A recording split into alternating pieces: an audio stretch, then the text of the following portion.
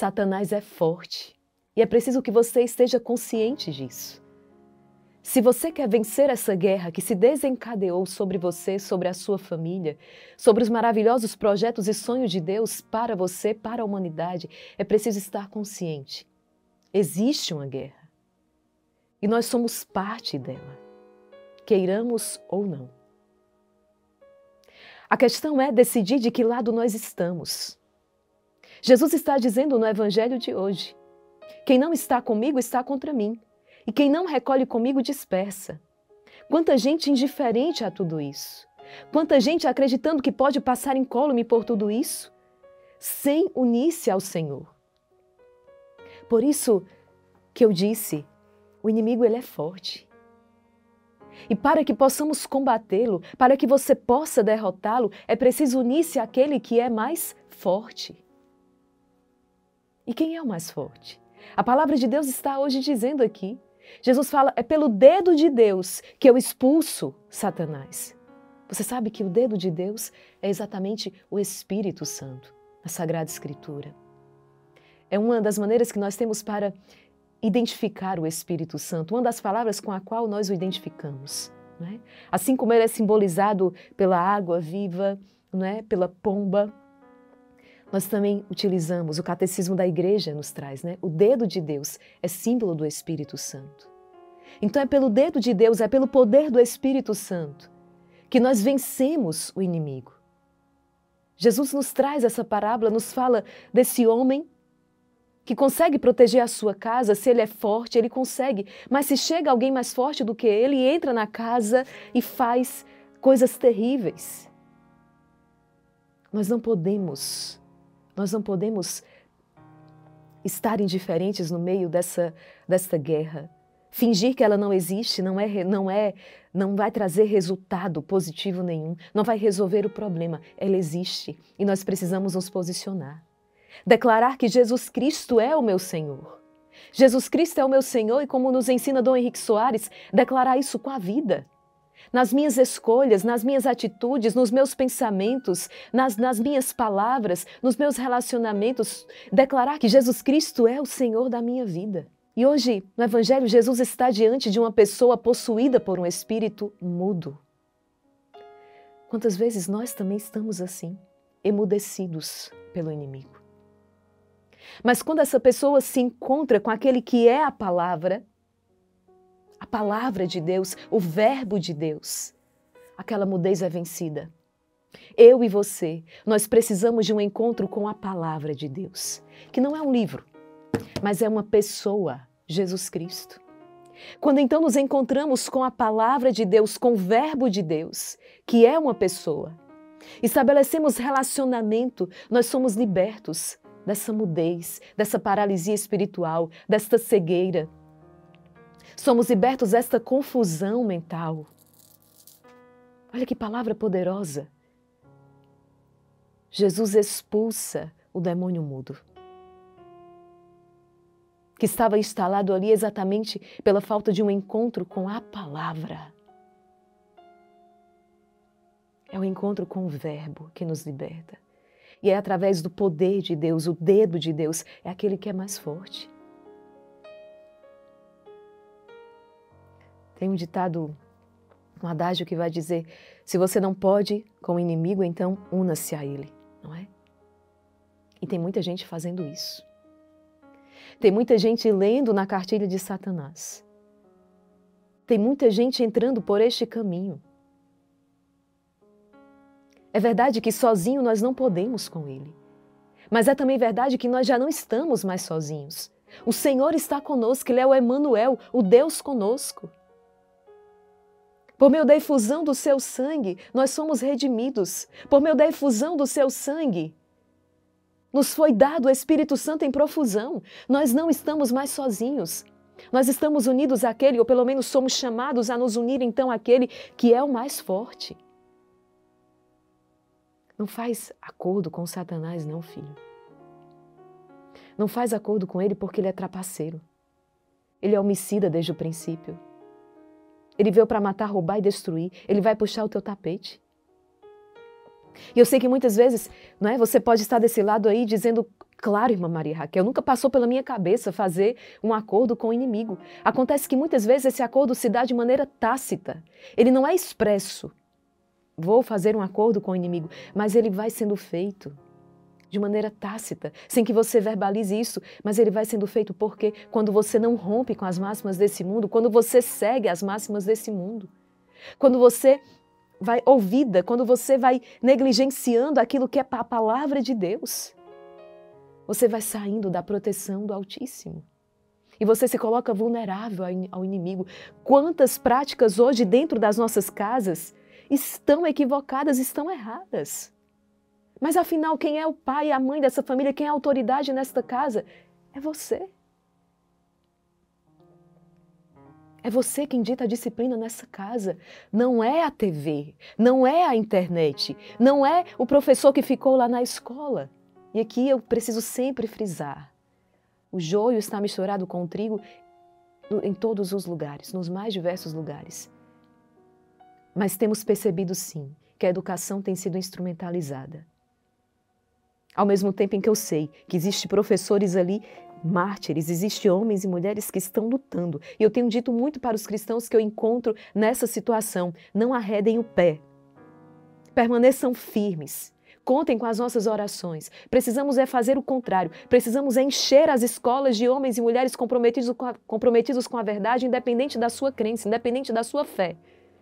Homens e mulheres retos, comprometidos com a verdade. Comprometidos com a verdade. Não só professores, pedagogos, psicólogos, não é? Em todas as mais diversas áreas médicos, enfermeiros. Precisamos de homens e mulheres comprometidos com a verdade. Mas aí eu volto. Então, quem dita as regras dentro da sua casa não é o influencer, não é aquele o professor tal. Não. Quem dita as regras na sua casa é você. E a sua autoridade ela só será bem exercida se você se faz um com aquele que é a autoridade suprema. Porque não tem como a gente estar tá neutro, não tem como a gente estar tá no meio termo. De fato, ou nós somos de Deus, ou nós somos de Satanás. Não existe, sabe, essa conversa aí do ateu, essa conversa aí do agnóstico. É tudo do lado de lá. É tudo do lado do inimigo. Entendeu? O inimigo está aplaudindo essa conversinha aí mole, barata, sabe? O inimigo está aplaudindo isso aí porque ele sabe, não é? Você já ouviu aquela historinha? O muro é meu. Então, pai, mãe, filho, filha, é preciso se posicionar aqui. Recobre a autoridade que Deus te deu. Isso não é autoritarismo, não. É autoridade mesmo. Autoridade é serviço. Autoridade é proteção. Autoridade é amar. Autoridade é proteger. É autoridade. É orientar. Igualmente também você, professor em sala de aula, você comprometido com a verdade. A autoridade em sala de aula pertence a você, é sua. E é você que recebeu então essa autoridade para guiar esta turma, para guiar essas crianças, esses adolescentes, estes jovens no caminho seguro. Nós vamos responder por isso. Nós vamos responder por isso. Ai, daqueles que escandalizam desses pequeninos, melhor que fosse atado uma, um anó de moinho, não é? Melhor que fosse atado um moinho ao seu pescoço, jogados e lançados ao mar. Olha o que Jesus fala. Olha o que Jesus fala. E desse juízo ninguém vai escapar. Desse juízo ninguém vai escapar. Nós não podemos entregar as nossas crianças, os nossos jovens, nas mãos de delinquentes, na mão de. Não podemos. É.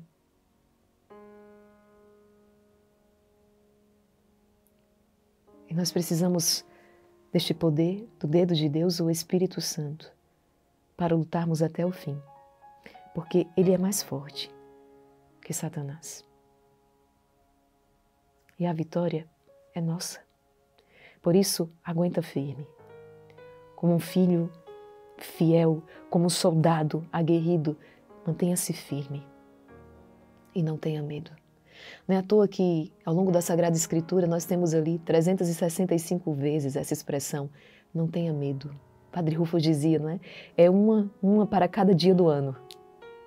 Acordar-se cada dia, enfrentar o gigante Golias com essa palavra de Deus em nossos corações, dizendo: não tenha medo, não tenha medo, não tenha medo. Não tenha medo. Como Davi, embora pequenino, mas parte para enfrentar o gigante Golias.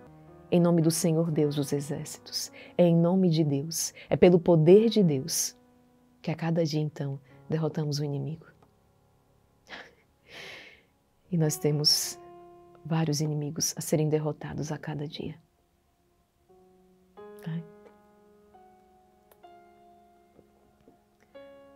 Nosso descanso, nosso restauro, a nossa força, está sempre na oração. A oração nos restaura, nos renova. A vida sacramental, a confissão, a Eucaristia, a meditação diária da palavra de Deus. Cada dia que você vem aqui medita a palavra, você vai se sendo revestido como um guerreiro. Né? Veja, nós estamos agora tomando o capacete da salvação protegendo a nossa mente das ideias diabólicas, nos colocando sob o raio de ação do Espírito Santo, o capacete. Ao mesmo tempo em que você está empunhando a espada do Espírito, que é a palavra, ao mesmo tempo em que você vai recebendo a couraça da justiça, que te protege dos dardos inflamados do maligno, o cinturão da verdade, o escudo da fé, né? os pés calçados de prontidão para anunciar o evangelho da paz. Cada dia precisamos vir aqui né? para que essa armadura seja recomposta, que essa armadura seja fortalecida. Saímos para o campo de batalha e retornamos de novo, para que a armadura seja recomposta, para que a armadura seja restaurada e voltamos para o campo de batalha. E retornamos aqui para que a armadura seja recomposta, refeita, restaurada. Entende? É um trabalho de cada dia e de todo dia. E se queremos verdadeiramente tomar posse da vitória que já foi conquistada, nós não temos um outro caminho. É preciso encetar esse caminho. Mas sabe, gente, cada vez que dedicamos um pouco do nosso dia para estar aqui nesse momento, para rezar um terço, para estar no rosário, o quanto nós somos fortalecidos, o quanto a paz invade o nosso coração. É incrível como saímos desse momento e os problemas estão todos ali. Todos. Eles continuam ali. Ao atravessar aquela porta, eu vou encontrar todos os problemas de novo. Mas eu saio daqui transformada. Existe uma paz dentro do meu coração para além de toda a guerra. Entende? E é isso. É essa transformação que Deus vai operando. Deus conta conosco. Somos vitoriosos em Cristo. Vamos proclamar essa palavra com muita fé. Suplicando ao Senhor que nos restaure, possamos nos conscientizar da autoridade que Deus nos deu enquanto batizados. É? Ele nos deu autoridade, inclusive sobre os espíritos maus. O Senhor nos deu autoridade através do nosso batismo. Ele nos deu autoridade, inclusive, sobre os espíritos maus. Por isso que nós, não é? numa vida na graça, em comunhão com Deus, nós rezamos sim. Hoje mesmo no Rosário nós dizíamos, né, em primeira pessoa, eu rejeito, eu repreendo, eu expulso de mim, eu renuncio todo o espírito mal, em nome de Jesus. Né? Em nome de Jesus. E renunciávamos ali, dizíamos: Eu renuncio ao espírito de inveja, eu renuncio ao espírito de fornicação, eu renuncio, eu rejeito, eu expulso de mim esse espírito mudo em nome de Jesus. Quantos pais e mães têm feito essa experiência dentro da sua casa também? Porque existe uma autoridade, uma graça especial que lhe foi conferida por meio do sacramento do matrimônio, por meio da maternidade e da paternidade.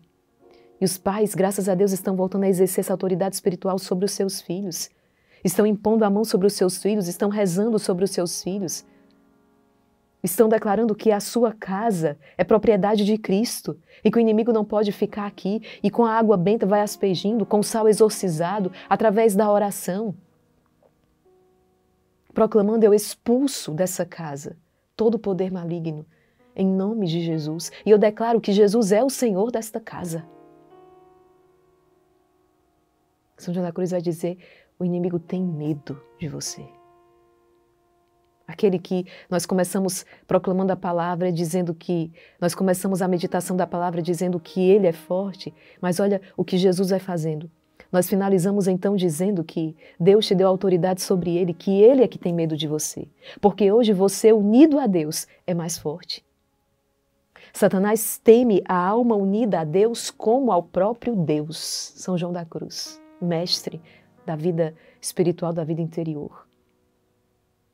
O inimigo tem medo da alma unida a Deus como ao próprio Deus.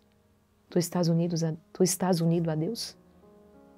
Essa é a grande pergunta que fica então. Estamos unidos a Deus? Se queremos vencer, nós precisamos nos unir profundamente ao Senhor.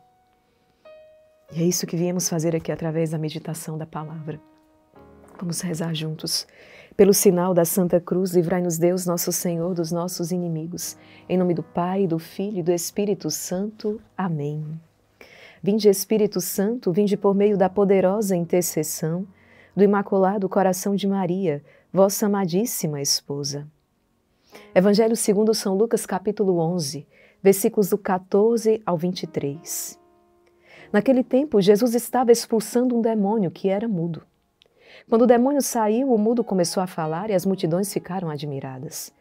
Mas alguns disseram: é por Beuzebu, o príncipe dos demônios, que ele expulsa os demônios. Outros, para tentar Jesus, pediam-lhe um sinal do céu.